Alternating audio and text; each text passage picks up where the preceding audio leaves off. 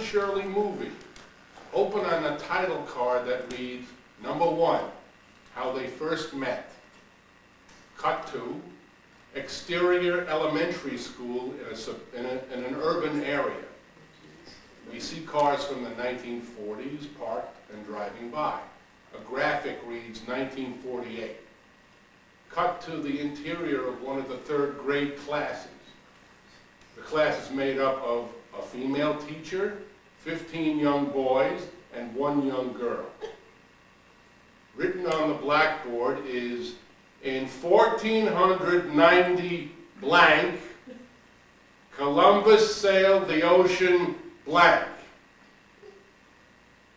The teacher says, all right, class, look at what's on the blackboard and let's fill in the blanks. The teacher pointing to the word. In 1490, teacher waits for the response. Nobody responds. The little girl's hand goes half-heartedly up. The teacher recognizes the little girl. Shirley, two. Teacher is dismayed that no one else has a clue. Right. She points again to the blackboard, the teacher and the class in unison. Columbus sailed the ocean. Teacher waits for a response, but gets none. Shirley's hand goes half-heartedly up. Teacher says, now come on, somebody else besides Shirley. Columbus sailed the ocean. One of the little boys next to Shirley offers a response. First boy, slow. slow? First boy says, sure, it was only 1490 something. Two. Yeah, back then everything was slow. They didn't even have out, outboard motors. Second says, they didn't have any kind of motors. Teacher is frustrated, as is Shirley. Teacher says, let's try it again, boys. Columbus sailed the ocean. No response from the boys. Finally, Shirley blurts out, Blue! Blue! It's blue for the love of God! Teacher says, and that's how we know the world is no response. Shirley, round.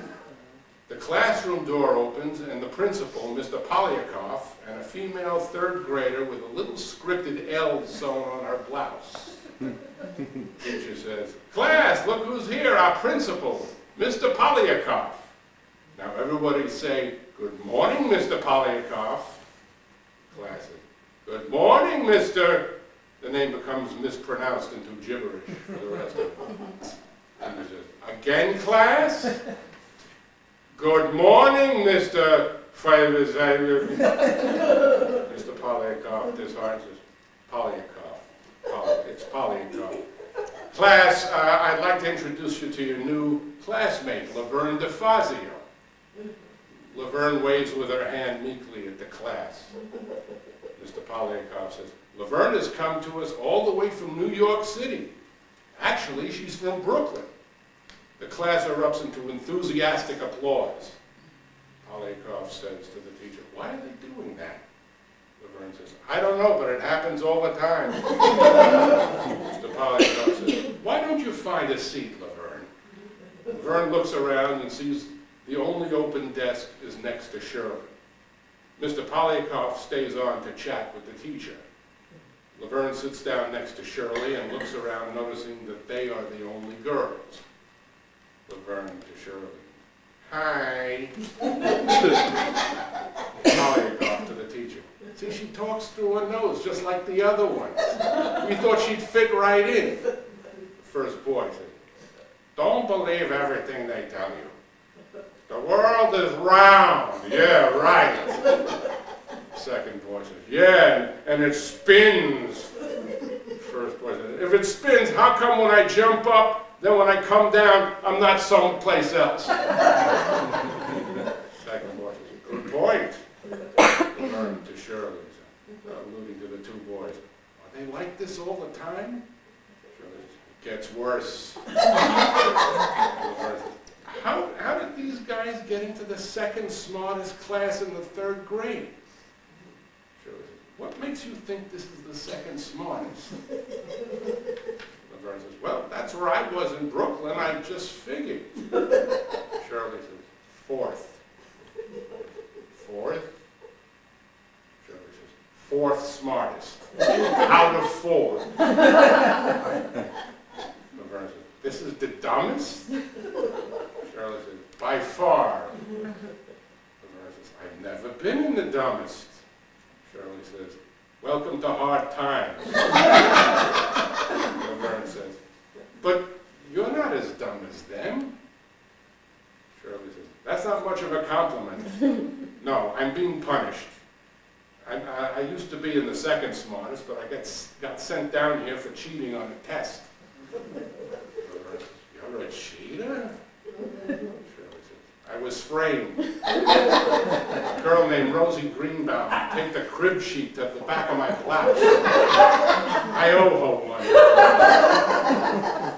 Second boy says, and if the world is round, why would my feet be flat?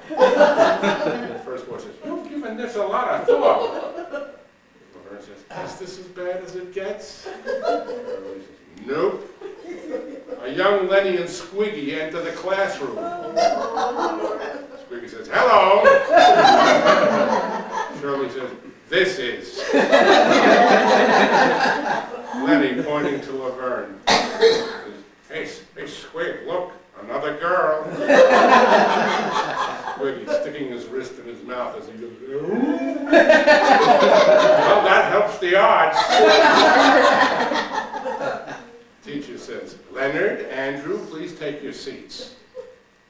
Laverne to Shirley says, why did they come in together? Shirley says, one of them can't find his way to the bathroom. Laverne says, which one? Shirley says, I don't know, it depends on what day it is.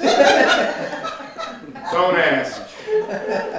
Teacher, is Mr. Polyakov is leaving, says, all right, class, say goodbye to Mr. Mr. Polyakov. Goodbye, Mr. Polyakov. The teacher starts passing out containers of milk. Says, Class, it's time for our milk break. Pass the cartons back, please. As they do, we get our first good look at the other students. They all converse with each other in Lenny and Squiggy ease. Laverne is somewhat stunned. Shirley takes it in stride. Shirley to Laverne says, Thank you. For what? Shirley says, For being so normal. Laverne says, I'm happy to do it. Shirley says, I finally have somebody to talk to who isn't strange. Well, that's nice to hear.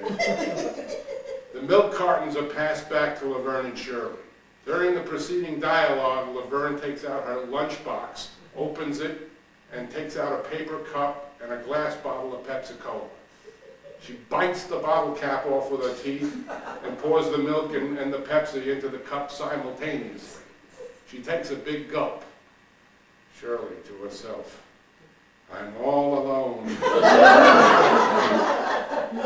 Cut to a title card reading, how, number two, how they first met. Cut to newsreel footage of Neville Chamberlain returning from Mu- Munich in 1938 and saying, I have met with Herr Hitler, and I can tell you most assuredly that there will be peace in our time.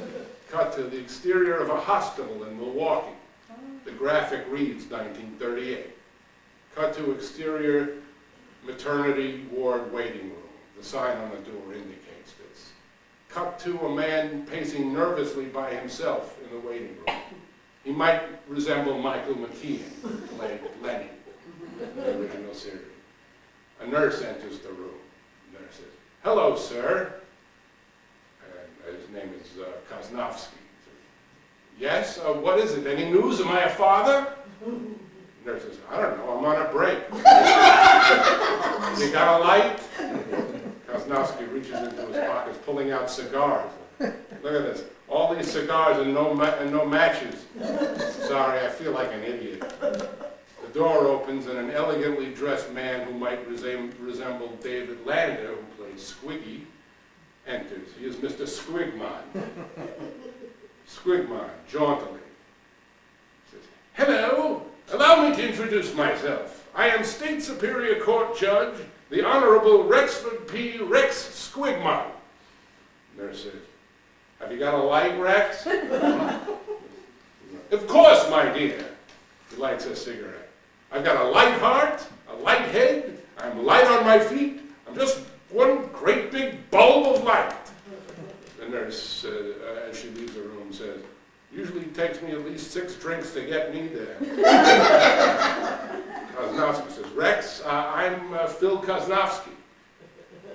Squigman says, please, call me Your Honor. Uh, Kosnowski says, all right, Your Honor. So your wife's having a baby? Squigman says, yes. Isn't that something? Kosnowski said, well, you, said, you don't seem very nervous about it. Squigman says, oh, I'm petrified. I just try not to show it. Kosnowski said, well, you're doing a heck of a job. Squigman said, actually, my happiness has completely overcome my fear. I just heard it on the radio. England has just made peace with Germany. Kosnowski says, how nice for them. Squigman says, don't you understand, man? I'm going to be even richer than I am already. Kosnowski says, well, how rich are you? Squigman says, you've heard of the Depression?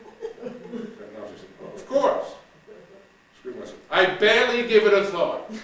On occasion, I've been heard to say, what depression? And Kosnowski says, that's rich. Squigman says, I don't kid around. Kosnowski says, well, I'm not that rich. I, I drive a Chevrolet. Squigman says, oh, that's a shame. You know, state superior court judging is merely a sideline for me. Something I just flirt with. I derive much more satisfaction from my true calling, beer investment. I just drink it. That's why you'll never get rich. I have a mind for malts, a head for hops. I know beer and beer knows me. Kosnowski says, a lot of times it makes me belch. Not listening to this. That's why I'm the major stockholder in the four biggest breweries in town. Pabst, Schatz, Schlitz and Blatz. That's right, you know your beers. Pabst, Schatz, Schlitz, and Blatz. That's a lot of beer, Rex. Please, Your Honor. Oh, sorry. Uh, Scrivener says, actually, I've got a lot more Pabst than Schlitz and a lot, a lot less shots than Blatz. But that's all going to change. You're going to get more Schlitz than Pabst and more shots than says, no, that would be a fool's mission. I'm liquidating. Kosnowski says, that's what I usually do after a Blatz and a Schlitz. Wigman says, you don't quite understand. I'm divesting.